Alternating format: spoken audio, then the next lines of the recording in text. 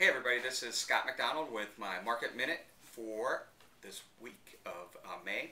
It has been uh, an interesting week. We've had a big surge in uh, new listings again. We're up to over 6,700 listings, so um, a big jump from just under 6,500 from last week. So um, we do have more inventory, so if you're looking to buy, that's a good thing.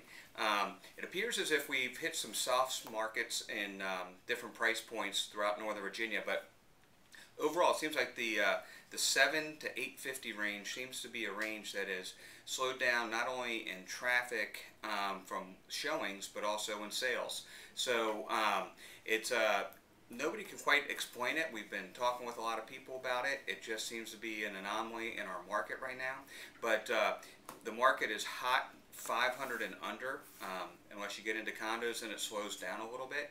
But uh, and then if 850 to 1.2 is really hot, so it's a, it's just a weird dynamic where that one seven to 850 is soft in the market. But um, anyway, we have a 1.5 month supply of houses. There are people out there buying.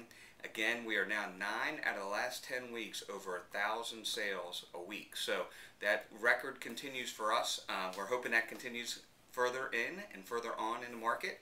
And uh, I think big reason is the rates are low, consumer confidence is high, and uh, again, there's good selection of houses for people to buy.